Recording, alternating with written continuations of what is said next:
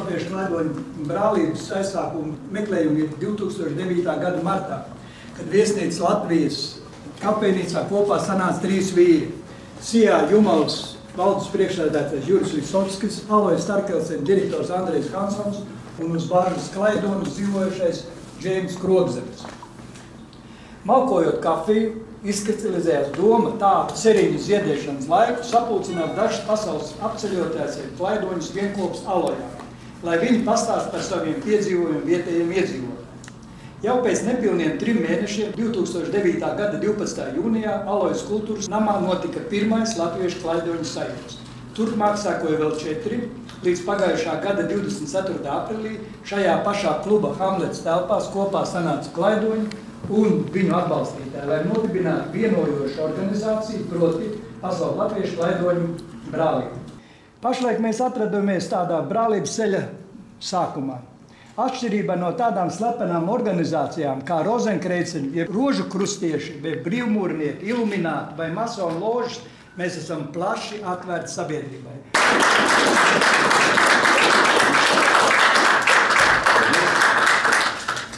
Klaidons, man liekas, ir tāds izredzēto vārds. Es esmu brīvs, un visu mūžu mans vienīgais iekšējais pārdzīvojums un vēlme būt brīvām.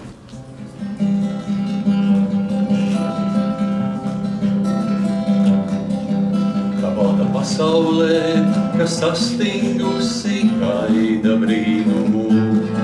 Ar savu klusēšanu mani uzrunā.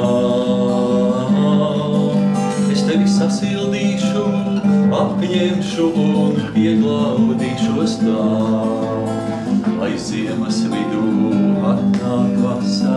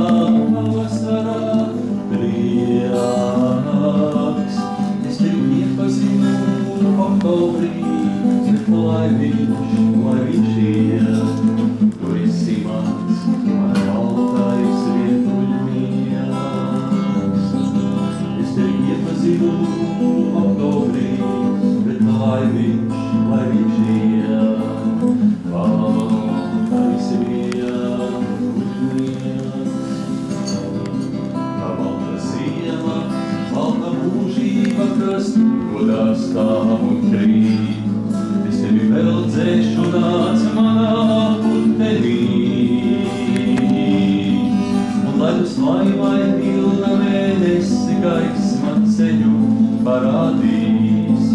Starp tavām domām, atmiņām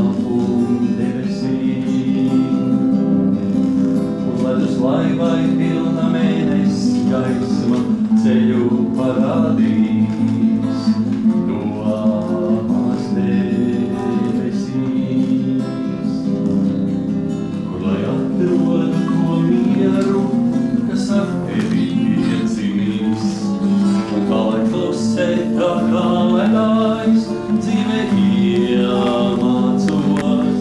Tu mana baltā pils un cietoksnis, kas vēl nav iekarots. Tu gredzens mans nevienam neatdots. Tu mana baltā pils un cietoksnis, kas vēl nav iekarots.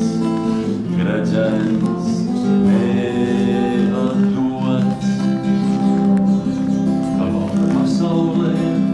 sastījusi gaida brīnumu. Ar savu klusēšanu mani uzrunā. Es tevi sasildīšu, apņemšu un pieglaudīšos tā, lai ziemas vidū